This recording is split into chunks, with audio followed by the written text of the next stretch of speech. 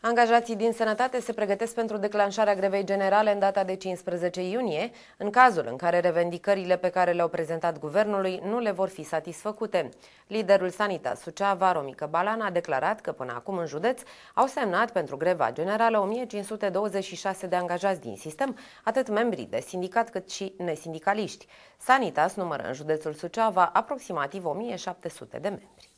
Campania de strângere de semnături pentru declanșarea grevei generale în sistemul sanitar continuă până în data de 2 iunie. Romica Balan a arătat că la nivel național pentru declanșarea grevei generale sunt necesare circa 50.000 de semnături și și-a exprimat convingerea că se va strânge un număr mult mai mare, având în vedere că în majoritatea județelor alături de membrii Sanitas au semnat și medici și colegi asistenți, care nu sunt înscriși în sindicate. În ceea ce privește programul de protest al Federației Sanitas, Romica Balan, a declarat că acesta prevede grevă de avertisment, cu întreruperea activității două ore în data de 8 iunie și începând cu 15 iunie, grevă generală.